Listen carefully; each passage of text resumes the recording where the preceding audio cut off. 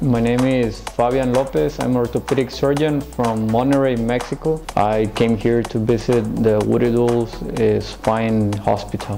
Um, the flight is about 14 hour flight uh, all the way from Mexico to Seoul and I came here because this hospital is worldwide known because of minimal invasive surgeries for spine and Dr. Lee and all his team is very well positioned in the spine surgery uh, surgeons in, in all around the world. So that's why I came here. It's was truly amazing to see that. Never seen anything like that before. It was fantastic and uh, well, right now after seeing the, the endoscopic foraminoplasty, Dr. Bae really makes it seem so easy, but it just the way he has the experience and the way he does the work was really amazing.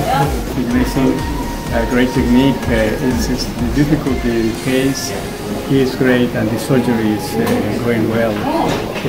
I, I, like so much this. It seems that the minimal invasive and especially the endoscopic surgery is what most likely it's going to happen in the near future. Most hospitals and most surgeons will be doing this kind of surgeries.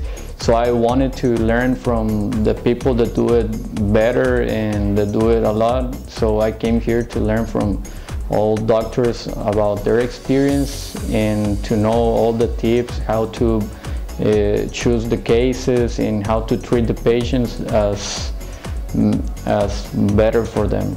So this is a new experience in thoracic spine surgery and I like to watch this talk because uh, this is uh, an advance in the treatments of our patients and uh, I'm so happy to know this uh, technique now and to improve my skills here and to meet a, a great doctor like uh, Dr. Lee and I would uh, recommend uh, any person to come here and I think it's a very good experience to meet all doctors and to have their opinions and their thoughts to, to know how to to use this kind of endoscopic surgeries in our cases.